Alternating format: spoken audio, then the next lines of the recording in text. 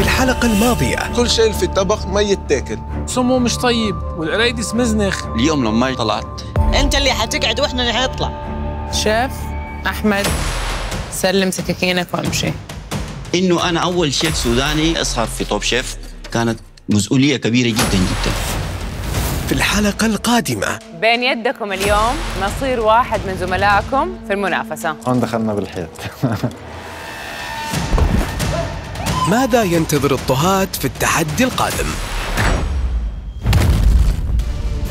توب شيف مش أي شيف غدا التاسعة والنصف بتوقيت السعودية على الام بي سي 1